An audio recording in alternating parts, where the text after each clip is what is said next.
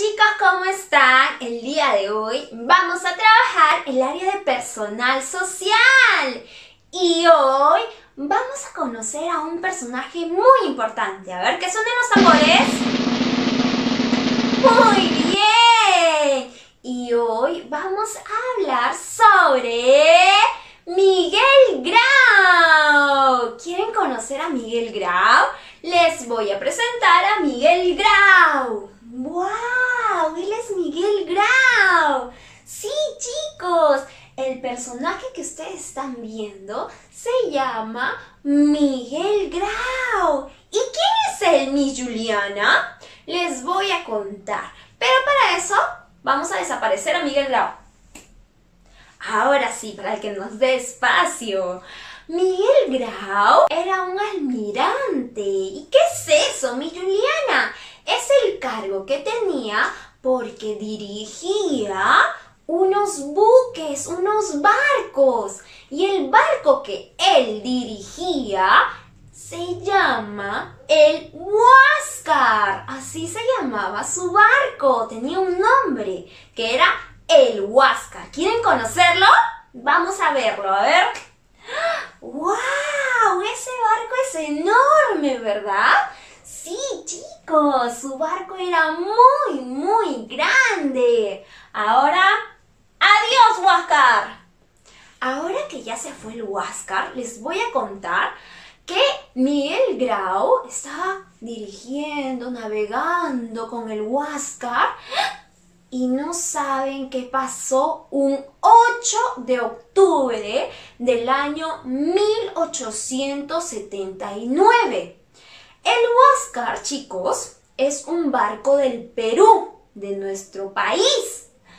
Pero el Huáscar no estaba solo, sino estaba también acompañado por otro barco más. O sea, eran dos barcos del Perú que estaban navegando por las aguas, por los mares, pero estaban en un territorio llamado Angamos. ¿Ya? Es por eso que el 8 de octubre de 1879 se dio un combate llamado el combate de Angamos. ¿Por qué se dio en las aguas de Angamos? Entonces, por eso lleva el nombre de combate de Angamos. Vamos a seguir narrando esta historia que está muy interesante. Entonces, el Huáscar llevado por Miguel Grau, junto con su otro barco, estaban en esas aguas y de pronto, chicos, no saben quiénes llegaron. Llegó unos barcos chilenos. ¿Quieren conocerlos? Vamos a conocerlos, a ver. ¡Wow! Estos barcos que eran más. ¿Cuántos barcos eran? A ver. Eran cuatro, ¿verdad? cuatro barcos chilenos. ¡Wow! Ahora vamos a desaparecer a los barcos. Ahora sí. ¿Ustedes recuerdan cuántos barcos peruanos había? Dos, ¿verdad? ¿Y cuántos barcos chilenos? ¡Cuatro! Entonces eran cuatro barcos chilenos contra dos barcos peruanos. ¡Wow! ¿Quién creen ustedes que ganó esta pelea? Porque estos barcos chilenos con los barcos peruanos comenzaron a lanzarse bombas unos a otros. ¡Wow! ¿Quién creen que ganó? ¿Los chilenos, que eran cuatro barcos, o los peruanos, que eran dos? Los chilenos, los chilenos ganaron esta pelea.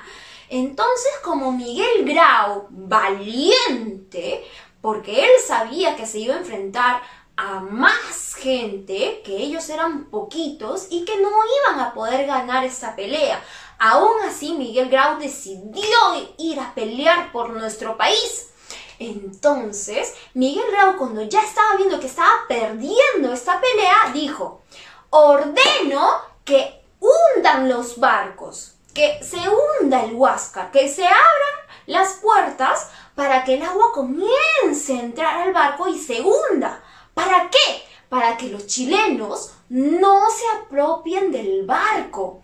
Pero chicos, les cuento que esto fue muy tarde, porque los chilenos estaban dando cuenta de lo que estaba haciendo Miguel Grau. Entonces, saltaron rápidamente al barco de Huáscar, comandado por Miguel Grau, mataron a Miguel Grau y detuvieron las puertas, volvieron a cerrarlas y eso hizo que el agua ya no entre en todo el barco. Entonces lograron rescatar el Huáscar.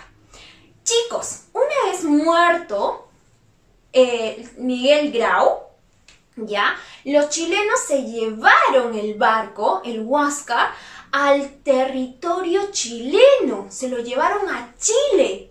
Y ahí es donde está hoy en día nuestro barco, el Huáscar. Lo tienen ahí como un trofeo de que ganaron la guerra, ¿no? En ese entonces el combate de Angamos. Es por eso que los chilenos se llevaron nuestro barco para decir, wow, esto les hace recordar que ganaron el combate, ¿verdad? Entonces, es por eso chicos que el 8 de octubre celebramos el combate de Angamos.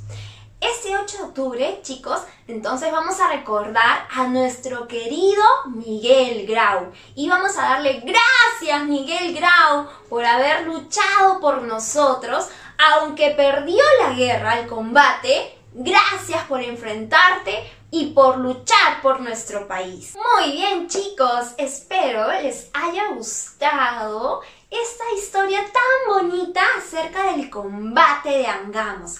Ahora que ya conocemos un poco más sobre Miguel Grau y su barco, el Huáscar, vamos a ver nuestra tarea. Muy bien chicos, ahora vamos a ver nuestra tarea.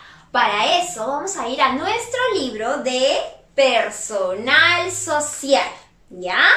Personal social a la página 37, el que tiene un 3 y un 7. Muy bien, ¿todos están en la página 37? Perfecto, ahora sí, en esta página dice Miguel Grau Seminario, porque así se llamaba Miguel Grau. Ahora, ustedes van a colorear a Miguel Grau, a nuestro gran héroe, y luego van a completar cómo se va armando su barco el Huáscar, ¿ya? ¿Cómo creen ustedes que empezaron armando el Huáscar? Así, ¿no? Luego le fueron completando más cosas, ¿no? Como este. Luego, acá, y al final quedó así. Entonces van a hacer la secuencia de dibujos, ¿ya? Van a completar las secuencias de cómo se empezó el Huáscar y cómo terminó, ¿ya? Cómo empezaron construyéndolo y cómo al final es el Huáscar, ¿ok, chicos? Y eso sería toda la tarea. Espero les haya gustado conocer sobre Miguel Grau y el combate de Angamos que celebramos el 8 de octubre. Muy bien, que ya se viene, ¿no? Esa fecha. Así que el 8 de octubre todos vamos a recordar Miguel Grau. Muy bien chicos, les mando muchos besos y nos vemos el día de mañana. Cuídense mucho. Chao.